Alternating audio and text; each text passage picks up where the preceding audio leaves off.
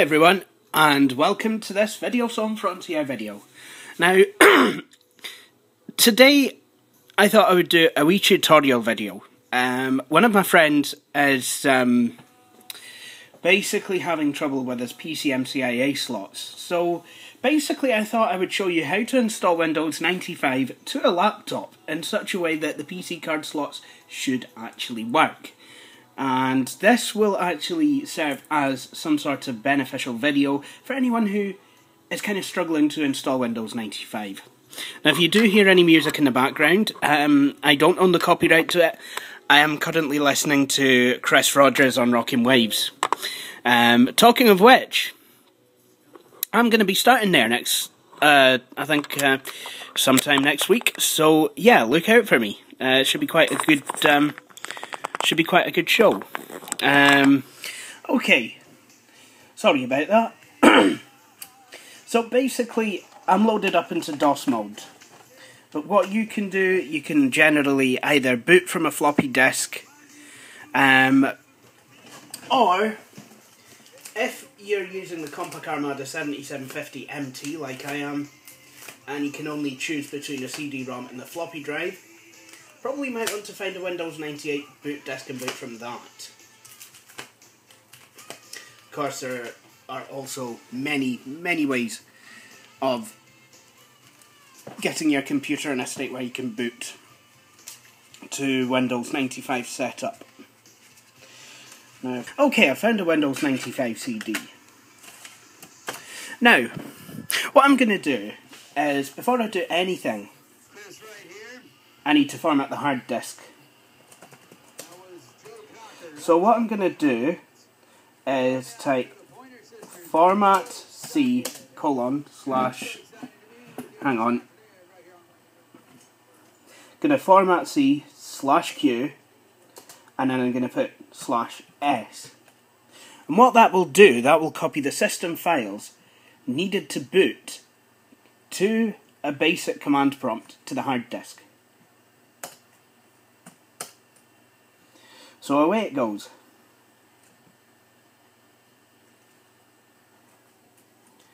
I'm going to name the hard disk Compaq. And as you can see, there's only command.com on it. So what I'm going to do now is I'm going to go to the CD-ROM drive. As you can see, the Windows 95 CD is there. Now, I could just go and install Windows 95 as it is. But what I'm going to do instead is copy the files over to the hard disk. So usually when an oh, when an original equipment manufacturer is copying files to well, when an original equipment manufacturer copies files to a hard disk, the Windows install files, um, what they usually do is copy it to Windows slash options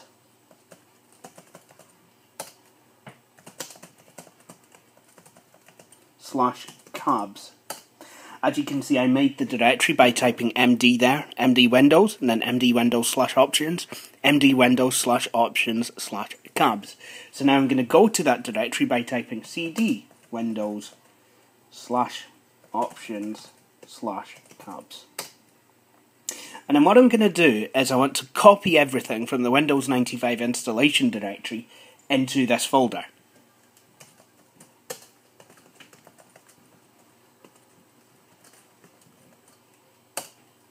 Now this isn't required, but I usually find that I get better results when I install Windows this way.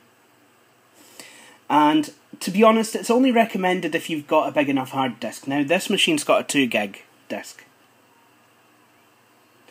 So it should be okay.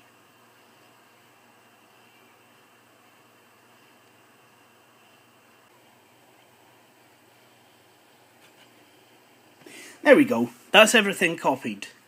Now again, I could start setup right now, but I'm not going to. I'm going to reboot the computer, therefore it will be clean, it'll be, you know, it'll set up, won't try to look for files which no longer exist.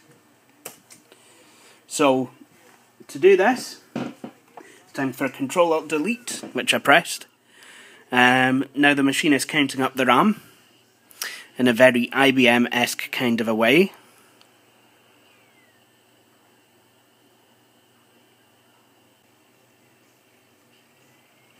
And as you can see, the machine is booting. It still says starting Windows 95. Oh, hang on a minute. That's because it's booting off the CD-ROM. That would do it. This is a special... This is a homemade Windows 95 CD-ROM, which actually has a bootloader slipstreamed in. Quite clever, actually. Um, but as you can see now, I've, I've uh, reset the machine, and it still says starting Windows 95. But now it just spits you out to normal command prompt. And if we do dir, we'll see that there's command.com as well as a Windows directory. So what I'm going to do, I'm going to go to cd windows slash options slash cabs. Now beware that if you're using a British keyboard layout like I am, then your slash key, your backslash key will instead, well, it probably won't work in some cases. So if you want a backslash, what you need to press is the hash key. So yes, it's it's quite an odd key mapping that way. But okay, we're in the cabs file, and how do I know all the files are here? Once again, I'm going to go dir, going to type slash w, so we actually see all the files instead of the files plus attributes. So, now we want to set it up. Now, don't be scared here, we are going to have an error message because himem.sys is not loaded. Um, and it's saying, uh, could not run ScanDisk, you should quit setup and run scandisk.exe slash all from setup disk 1 or the Windows CD in the Windows 95 directory. Then run setup again. Well, I'm just going to go and press escape, which you can do as well, and that will start setup. Now you'll notice that everything is just on a wee screen here. Now on a Compaq Armada, if you want to make it fill out the screen, what you do is you press and hold the FN key, which is the bottom left of the keyboard, and press the T button. And as you can see there, it's panel fitting quite nicely. And yes, I know it's quite old, but to be honest, we're not seeing that much uh, distortion of text. This machine is brilliant for DOS games, as I have told you in earlier videos. In fact, over Christmas, I did take it to Penumbra, and I was playing Rayman on it, and it was going really quite well. So here I'm clicking continue. I just basically decided to reinstall Windows for your benefit, because I like doing this sort of thing. To be honest, I've had a bit of a crappy weekend as per usual, so basically, you know, this this is what I like to do to kind of try and alleviate you know, any depressive symptoms. Right. um, accept the license agreement, unless you really do feel that you cannot abide by it and not got to be Windows 95. Um, and apparently you can return it to the manufacturer for a complete refund. I don't think so. now this bit, if you've got the CD-ROM drive installed in your Armada, this part could take a while while it's searching for a floppy drive that just isn't there. But don't worry, Windows will start up. There you go. Welcome to the Windows 95 setup wizard, which will guide you through the rest of setup. To begin, click Next. Okay, now you'll see here that Windows wants to install in C colon backslash Windows dot triple zero. And the reason it wants to do that is because this is acting as a clean install and it thinks that the Windows directory already contains a version of Windows, Well, actually, it doesn't. It just contains some files. The fact that the directory is there has triggered this. However, you can install Windows 95 into C colon backslash Windows. It's quite easy to do. All you need to do is go to Other Directory, click on the Next button, and then delete the dot triple zero from the folder name. Now, we're ready to continue. It's now going to warn me that the directory C Windows already exists. If I continue, files in this directory may be overwritten. Do you want to continue with the specified directory? Why, yes, thank you for asking.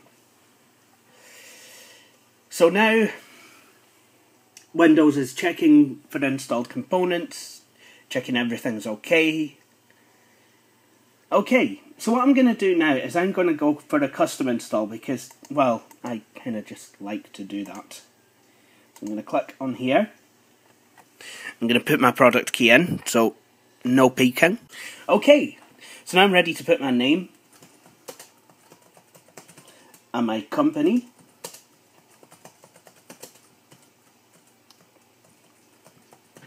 In. And now, click next or press enter. Analysing your computer. Do you wish for Windows to analyse it? Yes, I do. I'll let it search for the CD drive. But in this case, I'm not going to let it search for the sound card as, well, to be honest, this likes to kind of play silly games when you do that. So, yeah. And while you're doing this, make sure you have all the drivers to hand. Now, if you're running a Compaq computer, good news! Because HP still has all the old Compaq drivers. So, well done HP for doing that for us. Kind of the one thing that you have done. It's even more decent of them to do such a thing, knowing that Compaq as a brand has now been wound up. So I really do appreciate HP keeping all the Compaq drivers. Because uh, NEC and Acer didn't bother to keep any Packard Bell ones.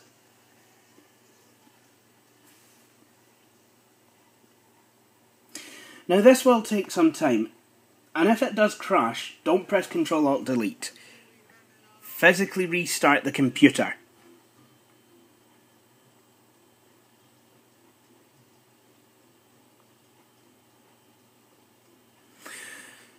And apparently, um, at the time of filming, 20th of January 2013, um, 919 uh, General Me- uh, Greenwich Mean Time, or 419 Eastern Standard Time in the USA, uh, the Atlanta Falcons seem to be trampling the 49ers. I don't know who the 49ers are, I completely forgot, but I know the Atlanta Falcons are Atlanta, well, Atlanta.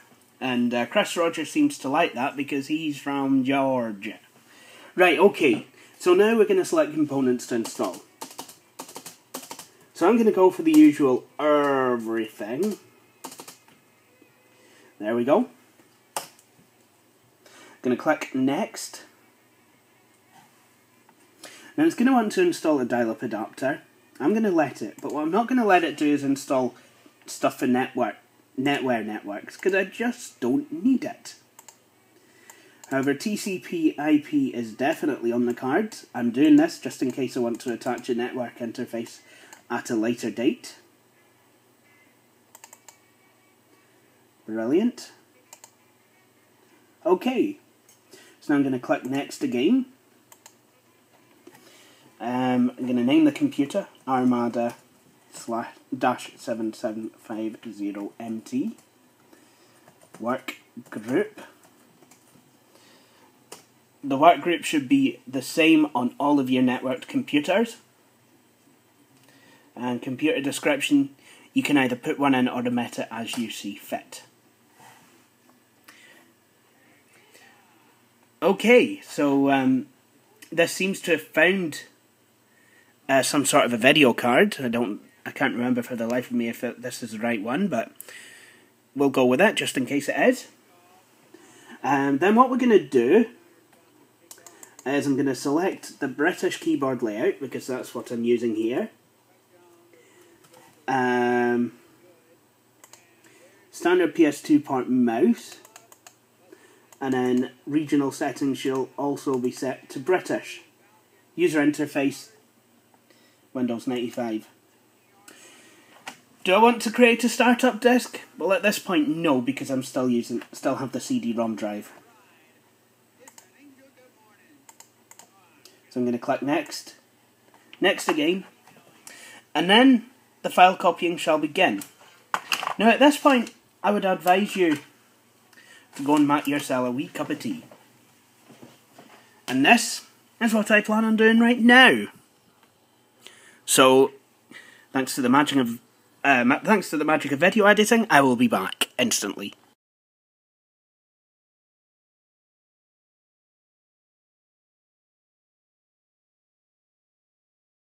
Wow, it's such a good job I actually uh, took my own advice.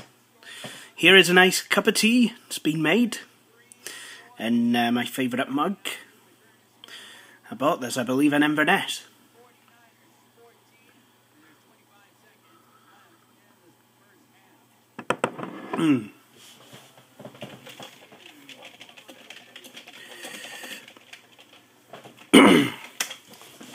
right, okay.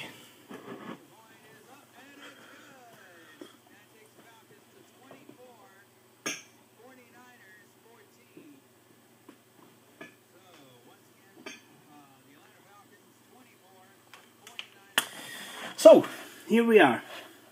We're at the end stage of Windows 95. Well, we're at the uh, stage of Windows 95 setup where the computer needs to restart. Um, now, one of my favourite descriptions in this was um, to actually get it to. I once borrowed a copy of Windows 95 for busy people from my local library and it detailed how to install Windows 95, and it was quite funny. What it said was click Finish, like so, and your text will change from English to Finnish. Just kidding on, it said. I did find that quite funny in the book. And uh, yeah, I don't know why I'm inter- I don't know why I'm so interested in this Atlanta Falcons game. I really don't, because I have no real interest in sport anyway. But apparently it's 24 to 14, so the uh, 49ers are coming back, it would seem. And um, apparently President Obama gets inaug- inaugurated tomorrow.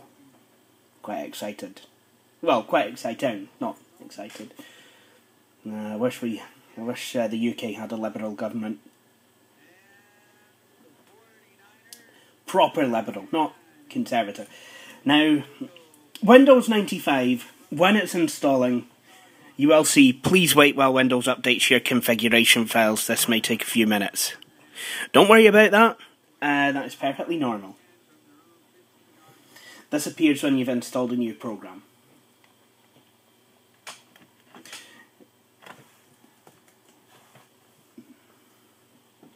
I love that screen. Please wait while Windows 95... Please wait getting ready to run Windows 95 for the first time. It's always quite exciting when that happens. I remember I used to love that image in school. Here we go. So now, Windows asks you if you want to log in. Now, you can put a password in here if you want. There's nothing stopping you doing that. However, I just want to log in normally. Now Windows will ask you to confirm the password that you choose. I'm not going for a password, so yeah, that's basically what I've done. I've just turned it away. Um,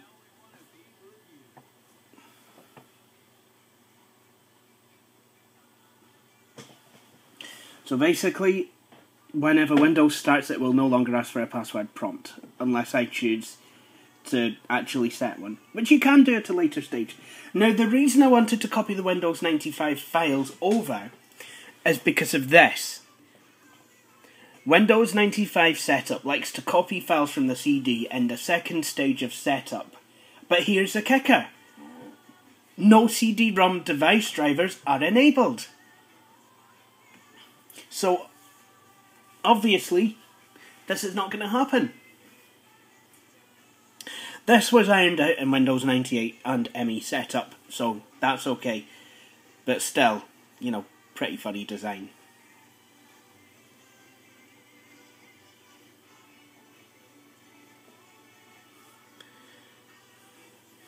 Okay, so now Windows is setting up the start menu shortcuts. and the control panel. I don't know why yeah, the don't know why this has decided to go sooner. I really don't. What I like about Windows 95 is if you open up the program manager, it's actually populated, whereas in Windows 98 you have to populate it yourself. And um, word to the wise, if you actually double click on a GRP file, as in a program group, in Windows, it will actually add it to the start menu, the contents of that program group.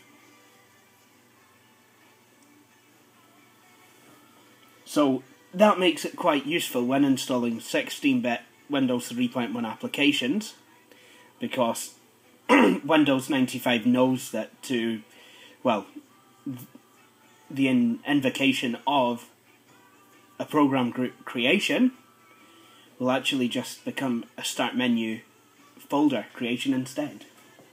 Okay, so it finished, and now we come to the final part, part of setup. First, I've got to select a time zone. Now, in Windows 95 RTM, you could actually select it from the map, but due to some uh, conflicts with uh, different nations and what have you, uh, you know, and time zone changes, when Microsoft actually disabled this, so you actually had to select it instead from the drop-down menu.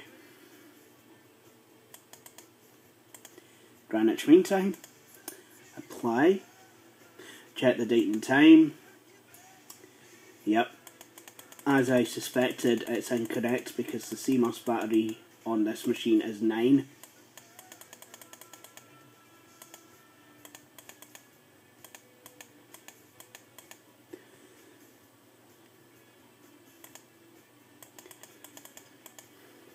So can set the time here. 20, oh, 21, 36, and then I'll press enter. Nope. Click apply and then OK. That's reset the time and the time zone.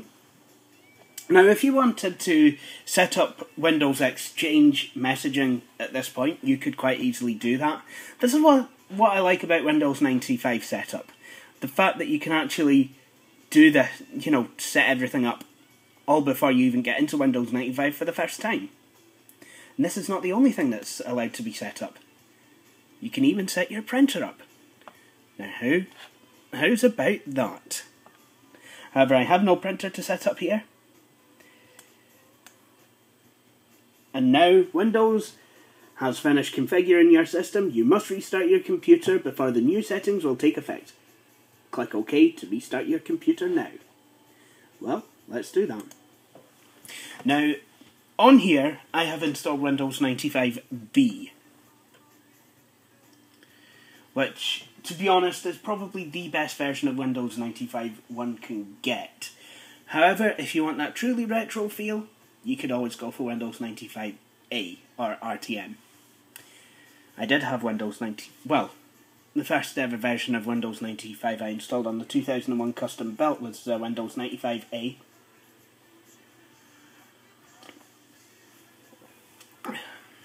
Don't know why it resets the screen.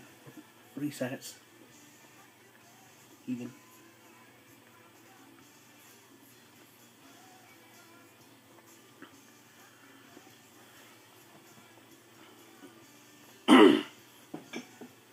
So Windows 95 is going to do a wee bit more hardware checking.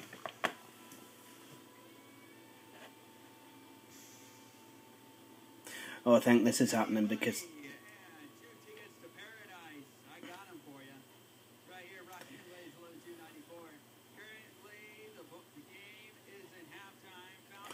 Okay, and now we're here.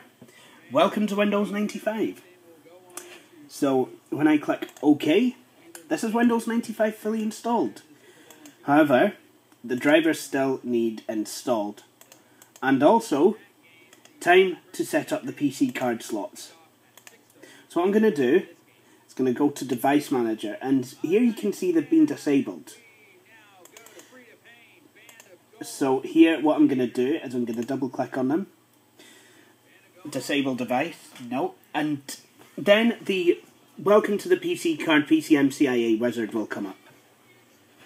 I'm going to answer no to this because it's um, saying, Am I connected to a SCSI card to install Windows? Nope. Do I want to review the system files and select real mode PC cards drivers so Windows can disable them? No, because this is a clean install. And now I'm going to go to finish. Now when you go to restart your computer, an odd thing happens. Windows doesn't actually restart it, it powers the machine down. And I think its reasoning is so that you can actually install the PC card controller. Well, this is a laptop. It came with one pre-installed. So all I need to do is power on the computer.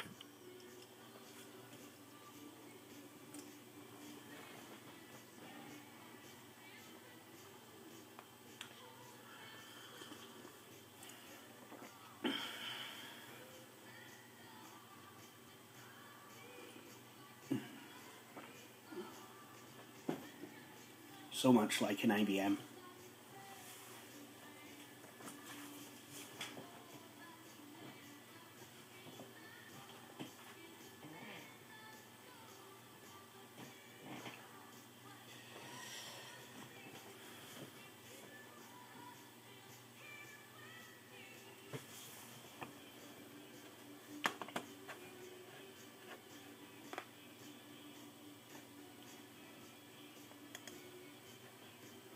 So we're back in Windows 95. What I'm going to do is you can now see that um,